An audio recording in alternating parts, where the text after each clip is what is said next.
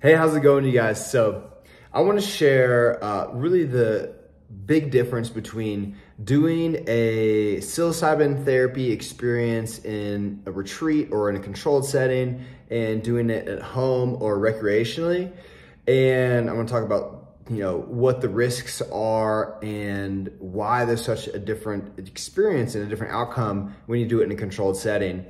And so really number one these plants are you know extremely powerful and they can open up your mind. They do open up your mind and help you connect in a, a deeper way with you know your own self. And what you restore in this process is your own well-being and a sense of deep inner peace. And uh, you come out the other side with people often describe it as joy or bliss or happiness or uh, just an ever-present knowing of like the next level or clarity that you're looking for in your experience in life.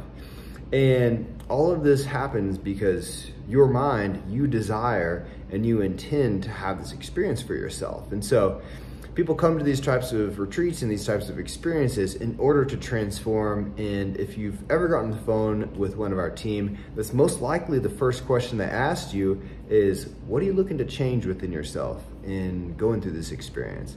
Because it truly is a treatment experience and we are a health facility. And so we have a very high standard, a very high class process to make sure everything is safe, everything is secure, everything's predictable, and everything is systematized to the point where you're gonna have a profound experience and you're gonna know that you're gonna get the same result as someone else and that your problems aren't going to be you know, something that slips through the cracks because we've built a really fundamental system that gets profound experiences here.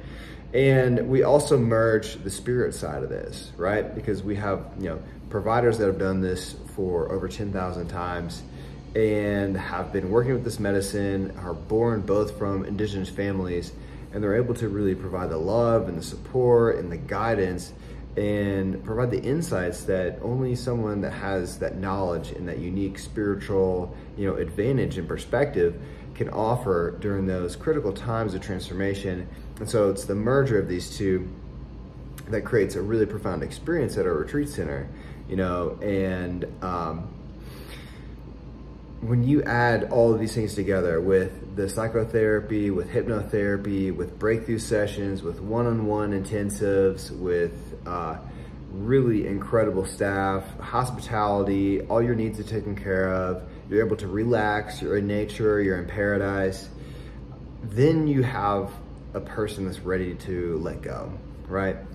And a big part of that is, you know, besides the professionalism in the process we built is the environment and, you know, being able to get away from your normal thinking, your normal habits, and just being able to let go of your thoughts, your, you know, beliefs and, you know, the patterns that you're living in your life.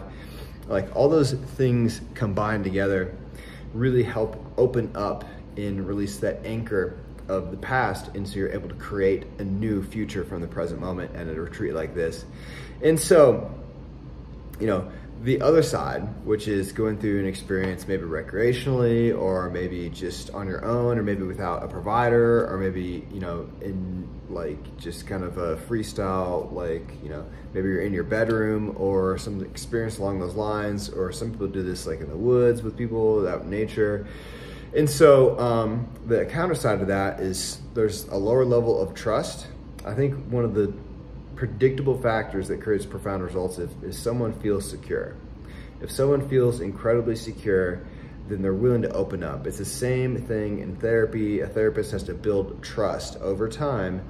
And that person that wants that transformation has to have that opening. They have to be willing to express, willing to bring those things up to the surface to release and reveal and transmute and to realize what's on the other side.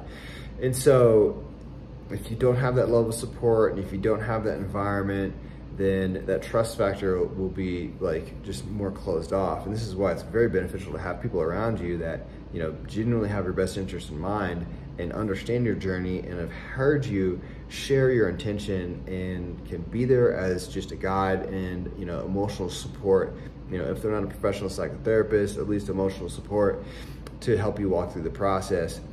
And um, you know, if that trust, if you're on your own and that trust isn't really there, or, you know, even if you're just by yourself and you don't have a guide, there's only a certain level of depth that, um, in my personal experience and many experiences that I've I've heard of, people share the stories all the time about their own personal experiences, and you know, usually what people have when they do this recreationally or on their own or in the bedroom is like they get happy, they get high, they feel like, you know, maybe exploring a little bit. Some people have very negative experiences. Um, and um, there's a lot of unpredictability in, um, in that process when you don't have that setting.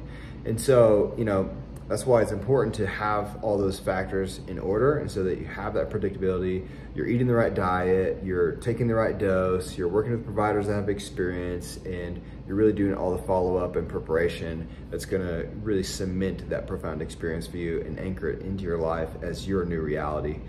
And um, you know the alternatives just don't get that result. And so I tell people all the time, you know, um, that are looking for just a psilocybin experience, like it's not really a psilocybin experience you're looking for, it's the transformation you're looking for, right?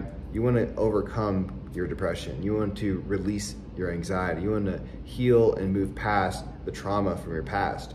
You know, you're not looking for a psilocybin treatment, you're looking for a transformation. The psilocybin is just one of the many tools that helps you unlock and reveal that transformation and experience that new life that you have for yourself on the other side.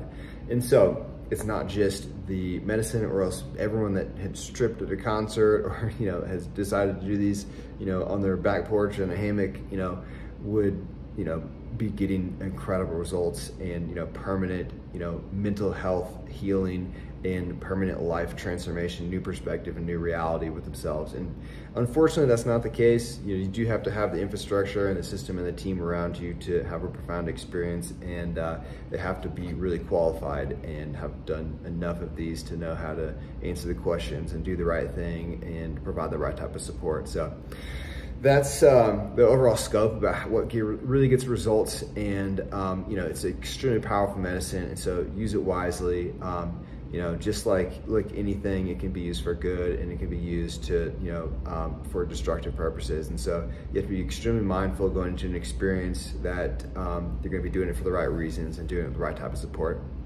Best of luck, you guys. Hopefully, see you soon.